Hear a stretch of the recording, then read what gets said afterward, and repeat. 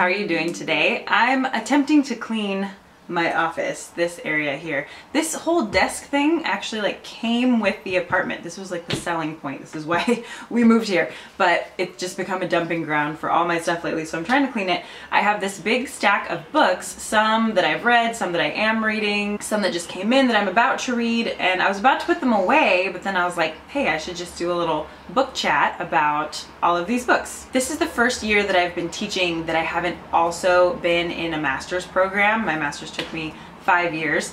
So um, in the past, I always felt guilty about reading for pleasure just because I had at least a book a week that I always had to get read. Plus I needed to be doing research. And so anytime that I would read something just for fun, it felt like I was wasting time and brain cells and like space in my memory, space in my brain. So I've been kind of making up for lost time. So I've got a big old stack right here that I thought I would share with you. These are in no particular order. This is just the stack. Um, this is called Towers Falling by Jewell Parker Rhodes. This is just from our school's library. Um, I take my Title I kids there every week and sometimes I just grab one just so that I could, you know, recommend it sometime. Not sure about this one yet. It starts off really terribly. Like the author's voice is really weird. It's supposed to be in like modern day New York, but it sounded like Little House on the Prairie or something. I was like, what is going on? Found out later that the mom is like Jamaican, so maybe that's why, but if I were a middle schooler, I would read the first couple pages and then just return this. But I'm sticking it out. I've read about a fourth of it. I think the idea of this book is that um, it's about this girl, Deja. She's like in fifth grade. She's at a new school. Um, she's homeless. They're living in a shelter and her dad is out of work and he's always like angry and stuff and they're going to learn about 9-11 and it seems like they don't really understand 9-11 much like my students. Um, and I think it's going to turn out that her dad was in the buildings at that time or maybe he was like a police officer or a firefighter or something like that. And he is probably dealing with like chronic health issues and mental issues as a result and then like that's why they're homeless. So I think it's all going to come together in the end. So I'm sticking with it but uh, yeah it gets off to a rocky start but um, I feel like this is a good perspective though for students like mine who like we're at the age where we lived through this so we understand but they didn't and so it's that's such a weird thing to me but they like don't really get what happened so um, yeah I'm hoping to be able to recommend this to students like next September this next one uh, I did finish reading. This is The Night Circus by Erin Morgenstern. This was one that um, someone had recommended to me that I bought for my classroom library and um, my aide in that Title I class actually borrowed it and read it and she came back after the weekend. She was like this book is so good you have to read it. So I read it and it is incredible. This is one of my like top 10 favorite books of all time. If you were a Harry Potter fan, but you've already read all the Harry Potter stuff, this will kind of like fill your void. It's just so magical and so beautiful. The description is incredible. You feel like you have been to the night circus. I love it. Um, I won't give too much away. Plus, it's just hard to describe. You just have to read it. Um, but I looked into it and Summit Entertainment bought the rights to this book thank God. Um, but they haven't started making a movie. They haven't started any production, but I really hope that they turn this into a movie because it would be so incredible and Summit Entertainment would be like the people to do this one. So oh, I love it and I hope it becomes a movie. The next one is Unashamed by Christine Caine and I haven't read this yet. It just came in. Um, I love Christine Caine as a speaker. I've heard her speak a couple of times. She has a lot of videos like on YouTube. She's a pastor, more of a speaker I guess than a pastor.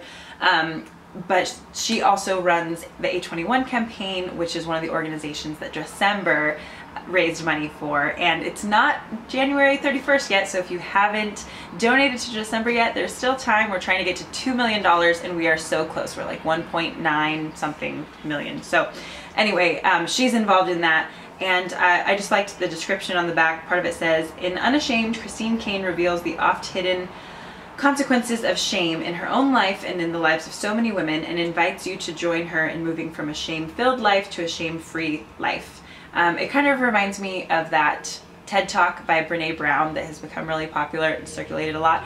Um, and so I'm really looking forward to reading this book. One of my friends recommended it, said it was like life-changing, so I can't wait to read it. This one I've mentioned on my channel before. This is Ron Chernow's Alexander Hamilton. This is what Lin-Manuel Miranda was reading on vacation when he was inspired to do a mixtape about Alexander Hamilton, which has now become a smash hit Broadway musical and the obsession of my life. So um, I haven't made a very big dent in this because it's really, really long, but so far I love it. I love how Ron Chernow writes. Very well researched as a historian. I put my stamp of approval on this. Jensen is talking to the TV. baby TV, man. I'm like obsessed with baby TV. I kind of love it way more than he does. He's not that interested, but I am. Anyway, this one is so, so good and I can't wait until I am done with it, but um, I think this is gonna be one of my favorite history books. Uh, the next one is by uh, another speaker that I heard and loved, by Horacio Sanchez. It's called A Brain-Based Approach to Closing the Achievement Gap. Now, I heard him speak, love him. I looked for more of his stuff on like YouTube, but since he wants you to pay to have him come and speak at your district or your school. There's not a lot on YouTube. So I was like, okay, well, I just want like a book then to kind of reference from time to time. If I had only seen the cover of this book, I would never buy it. Whoever like produced this, published this for him, did a terrible job. There's like a super angry white kid up here glaring down at a, for some reason, naked or shirtless black kid. I don't understand why he doesn't get a shirt and he does. I think he is also in like the bottom part of the achievement gap because he must have like emotional problems. Even like Horacio Sanchez's picture is from like 1995. It's like a grainy old picture. So don't judge this by its cover because the cover sucks, but his ideas are amazing. If you work in a school where like you are affected by this achievement gap, maybe your kids live in poverty or their parents never had a lot a lot of opportunities or they have really unstable households or things like that, those things prevent them from being able to behave and being able to learn and being able to like function in a school society and it's down to the molecular level of the brain and so this is a really important thing to understand. I would like to rebrand it for them. So Horacio Sanchez, if you ever see this, let's talk because this was not done well. but I love you. I love you. Ah, and some bookmarks that I made from a calendar. The next one a lot of people have read is Everyone Hanging Out Without Me and Other Concerns by Mindy Kaling. This is just a really fun one to read. I love Mindy Kaling. I love The Mindy Project. I loved her on The Office. Whatever the other book was that she read, I can't remember the title of it right now, but that one was super funny. Um, I read this a while ago and this is one of those where if you're reading it in public, you might have like an embarrassing laugh out loud moment because it's that funny. Okay, I think Jensen's gonna join us for the rest of this video. Say hello! Anyway, I had underlined a part in this book that I thought was so funny, and I still do. There's a huge overlap between people who are good at Frisbee and people who do Teach for America. The same instinct to make at-risk kids learn, which I admire so much, becomes deadly when turned on friends trying to relax on a Sunday afternoon in the park. I remember taking a picture of that line and texting it to my friend who does Teach for America in New Jersey, so super funny. Good for just like a enjoy yourself type of read. The next one is Brooklyn, which they did a movie on maybe like a year ago, and so I had read it um, trying to, you know, read it before the, the movie came out, but I never did see the movie. I should look it up and see if it's out now and available. I liked it because it was like a different take on an immigrant story, a, a different take on like the Irish immigration story. It doesn't take place during like the potato famine. It's during like the 1930s, I believe. Um, and the story is really well written. Ouch. Oh. And it has this really interesting theme of you know, should you stay where you're from and where your family is, even if there aren't a lot of opportunities for you there, or should you leave behind everybody you love and go out and start your own life somewhere where there are more opportunities? And I think even today, ow, ow, Jensen, oh, this video is taking a turn for the worst. Okay, ow. Oh my gosh, it's getting much more difficult to film with him. Anyways, uh, yes, that theme of, you know, should you leave your family and move on somewhere else bigger and better or, or not, I think that's a, uh, a theme that still affects people today. It's something me and my husband think about a lot. So yeah, it's, it's a really good book. I recommend it. Ew, there's slobber in my hair. Gross. Your hair falls out already and then they try and take what is left. Anyway, the next book is this one. This is Bloom by Estee Lalonde. She is a YouTuber, and then this is like kind of a memoir. Um, this is Navigating Life and Style. So it is a lot about style. Um, she, she has really great like home style. I love her apartment and her videos and stuff. I like her clothing. She just has really has her own cool sense of personal style. This has really cute stories about how like when she was younger, um, just like trying so desperately to fit in with the cool kids. I think we can all relate to that. It's like really sweet but sad stories about her as a little kid. Um, and then just kind of coming into her own and being more self-confident.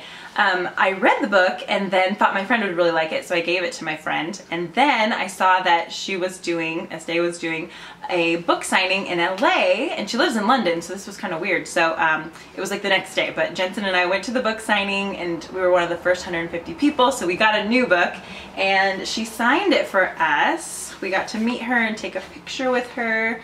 And so our book says, To Megan and Jensen, love Estee, and that was just really cool to get to meet her. I love her. So I highly recommend the book. I definitely recommend her YouTube channel as well. She's just a really cool person. The next one is All the Bright Places by Jennifer Niven. This is another one that you guys recommended that um, I got from my classroom library.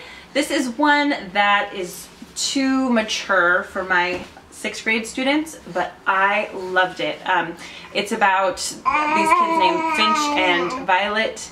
They're like seniors in high school and they both are going through really hard stuff. Violet has been through a tragedy. Finch is bipolar and they're just trying to be a support system for each other. Um, one thing that I really like about it is that you know, it, it goes back and forth. The, the different chapters go back and forth between the two perspectives. So sometimes you see Finch's perspective, sometimes you see Violet's.